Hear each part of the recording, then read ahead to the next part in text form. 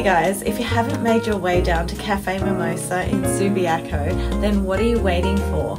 Not only do they do the most amazing brunches, but now they've just released their brand new signature mimosa waffles.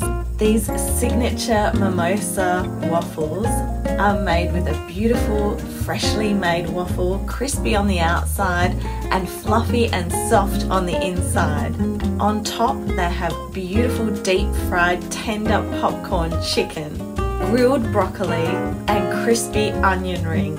Then they are drizzled with the house made maple syrup with a dollop of herbed cream and topped with my favourite crunchy candied walnuts. This is the perfect balance of savoury and sweet. So make sure you go down to Cafe Mimosa in Subiaco and book in for brunch, lunch, coffee, whatever, but make sure you try the brand new signature mimosa waffle.